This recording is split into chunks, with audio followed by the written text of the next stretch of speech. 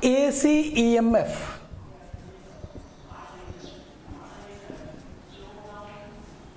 is applied to LR circuit.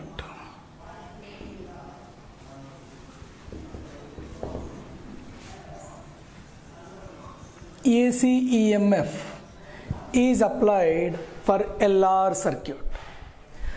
Now there is a inductance, right? There is a coil whose inductance value is L and there is a resistance. There is a resistance R which are connected in series LR inductor resistor inductor of inductance L resistor of resistance R both are connected to AC EMF now this is called what to say? AC EMF now this is called EMF which is represented by E. Now, this is the point A, this is the point B. Now, applied EMF is represented by applied EMF E is equals to E naught sine omega t. E is equals to E naught sine omega t. Now, what is the current? You want to calculate what is the current. What is the current passing through the circuit? And again,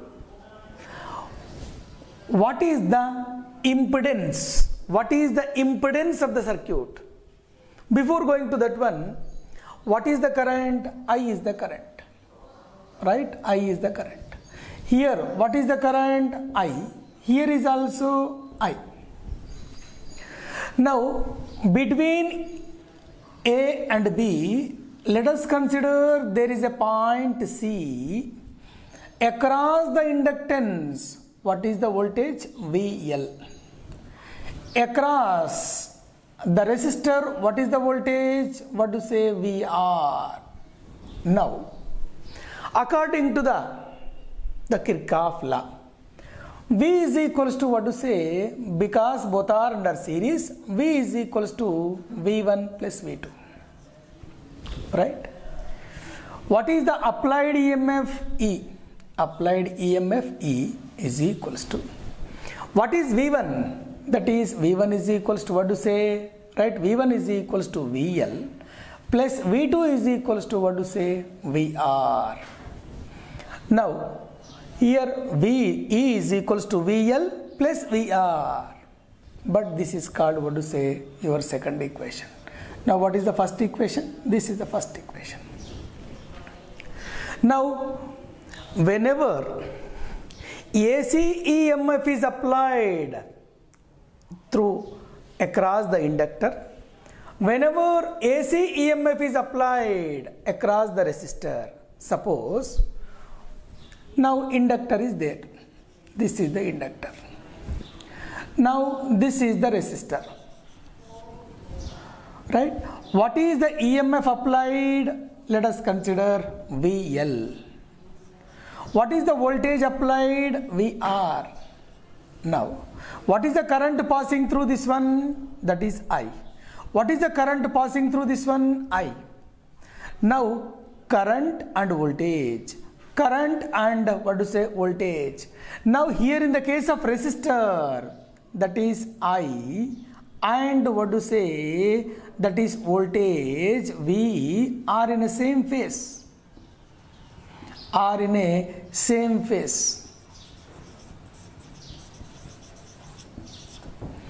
Now whenever the voltage applied across the resistance whenever the voltage applied the across the resistance current and voltage both are under same phase. But the same voltage applied across the inductor now current current I lag lags E E means here VL by 90 degrees. That is called what to say? Pi by 2 now here in this case VL VL VL is the voltage across the inductor. Now current is passing through the inductor. Across the inductor there is a voltage what is the phase difference between these two? What is the phase difference between these two? Here VL is that is current is lagging behind the voltage. Current is lagging behind the voltage by 90 degrees. Now whereas in the case of resistance that is current and voltage both are under same phase. Now here in this case E is equals to VL plus VR but here what is V? Right? VL is equals to VL is equals to according to the Ohm's law V is equals to I into R. What is the current? I.